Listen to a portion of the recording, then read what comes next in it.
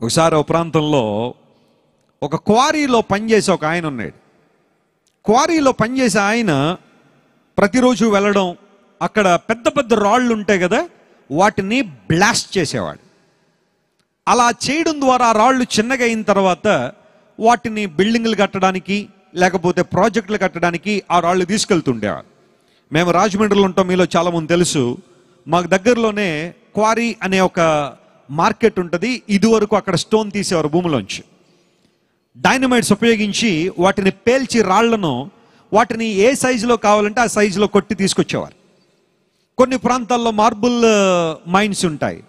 లేకపోతే ఈ ప్రాంతాల్లో కడప ఈ ప్రాంతాల్లో వెళ్తే కడప స్టోన్ అనేది మీలో చాలా మంది తెలుసు కదా బ్లాష్ చేసిన తర్వాత చాలా చక్కగా వాటిని కట్ చేసి ముక్కలు ముక్కలుగా ఇళ్ళలో వేసుకుంటాం. బండ్లు అంటాం కదా వాటిని వేసుకునే వాళ్ళు చాలా మంది ఉన్నారు. ఆ వ్యక్తి కూడా క్వారీలో పనిచేస్తూ ఉంటే ఒక రోజున వెళ్ళాడు బ్లాస్టింగ్ చేయడానికి. అదేంటో బ్లాస్టింగ్ చేసిన తర్వాత కొంత టైం గ్యాప్ ఉంటుంది ఆ డైనమైట్ పేలడానికి. ఈ లోపల వాళ్ళు ఎంత దూరం పరిగెత్తాలి అంత దూరం పరిగెత్తేసేయాలి. ఈయన బ్లాస్ట్ చేయగానే ఆ డైనమైట్ పేలిపోయింది. ఈయన తప్పించుకోవడానికి అవకాశం దొరకలేదు. వెంటనే రెండు కళ్ళు పోయినాయి రెండు చేతులు పోయినాయి విలవల్లాడిపోతున్నాడు. ఎవరో తర్వాత కాసేపటికి చూసి అయ్యో ఈ వ్యక్తి కాళ్ళు ఆ చేతులు ఆ తర్వాత కళ్ళు పోయినాయే అని చెప్పి జాగ్రత్తగా తీసుకెళ్ళి హాస్పిటల్లో పెట్టారు అప్పటిదాకా లైఫ్ అంతా చాలా బాగుంది అనుకున్న ఆ వ్యక్తికి ఆ డైనమైట్ బ్లాస్ట్ అవడం ద్వారా తన జీవితం తలక్రిందులైపోయింది. ఇంక రేపు నుండి ఎలా పని చేయగలడు? చేతులు పోయినాయి కళ్ళు పోయినాయి ఎవరో ఎవరో ఎవరో మీద ఆధారపడాల్సిన పరిస్థితి వచ్చింది. అయితే ఆ సందర్భంలో అతడు దేవుని గురించి ఆలోచించడం ప్రారంభించాడు.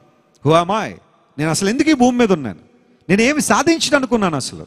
నా జీవిత లక్ష్యం ఏంటి? ఇలాంటి తెలుసుకుందాం అనుకున్నప్పుడు ఒక పాస్టర్ గారు అతని దగ్గరికి వచ్చి సువార్త చెప్పడం ప్రారంభిస్తే ఆయన సంపూర్ణంగా సువార్తను అంగీకరించాడు. యేసు ప్రభు తన హృదయంలో చేర్చుకున్నాడు. ఆ తర్వాత పాస్టర్ గారిని అడిగాడు సార్ నేను బైబిల్ చదువుదాం అనుకుంటున్నాను అన్నాడు. పాస్టర్ గారు నవ్వారు. ఎందుకోసం అంటే? బాబు చూడండి ఇక్కడ ఎంతమంది ఉన్నారో? అందరికీ అన్ని బాగానే చక్కగా పనిచేస్తున్న బైబిల్ చదవడానికి ఎంత ఇబ్బంది అయిపోతా ఉందో. నెలకు ఒకసారో సంవత్సరానికి ఒకసారో పుట్టినరోజుకి ఒకసారో క్రిస్మస్కి ఒకసారో బైబిల్ చదివే వాళ్ళు చాలామంది ఉన్నారు కానీ నీకు కళ్ళు లేవు చేతులు లేవు. కనీసం నీకు చేతులు ఉంటే బ్రెయిలీ స్క్రిప్ట్ తీసుకొచ్చి నీకు బైబిల్ ఇచ్చేవాడిని.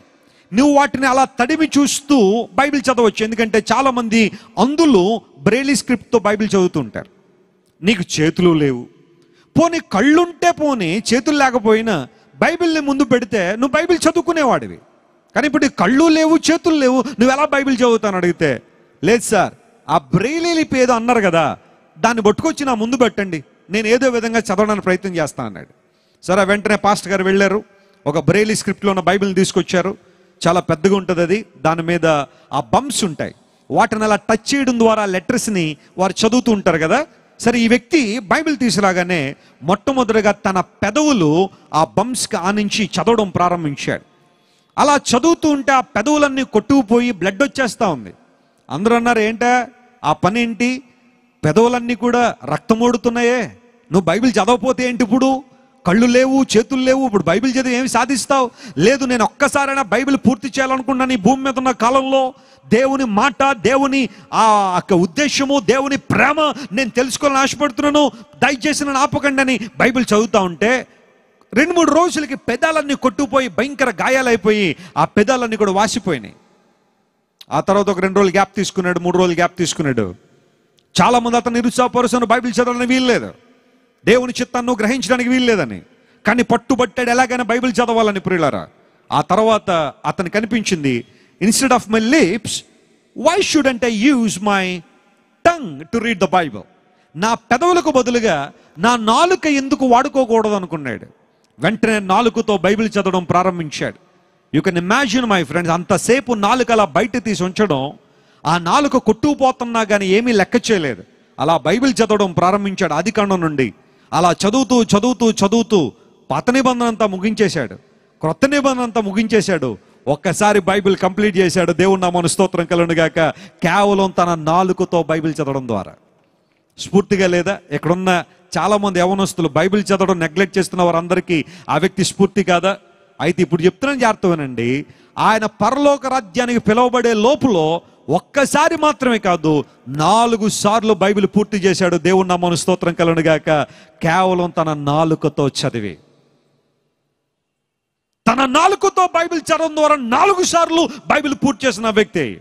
విలియం మెక్ఫర్సన్ అనబడే ఆ పేరు కలిగిన ఆ వ్యక్తి నాలుగు సార్లు బైబిల్ చదివాడు తన నాలుగుతో. అందరూ అడిగారు రక్తం మోడుతున్న నాలుగుతో ఇన్నిసార్లు బైబిల్ చదవడంలో ఉద్దేశం ఏంటి? అంటే ఆయన అన్నాడు దేవుడు తన మహిమ కొరకు నన్ను కలుగు చేశాడు ఆయనకు మహిమకరగా నేను ఉన్నట్లుగా దేవుని లేఖనాలు నేను పఠించాలి. ఆయన కోసం నేను జీవించాలి. ఇంతవరకు నా కోసం నేను బ్రతికాను కానీ ఇకపై నా దేవుని కోసం నేను జీవించాలని విలియం మెక్ఫర్సన్ నాలుగు సార్లు తన నాలుగుతో బైబిల్ చదివి ఈ రోజున కోట్లాది మంది యవనస్తులకు స్ఫూర్తిగా నిలిచాడు.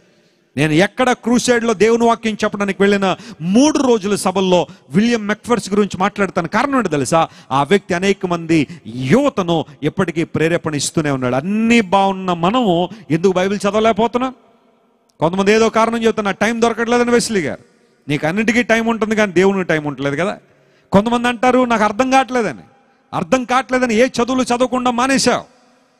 పిల్లల్ని స్కూలుకు పంపించినప్పుడు పాఠాలు ఏమి వాళ్ళకు కూడా అర్థం కాల?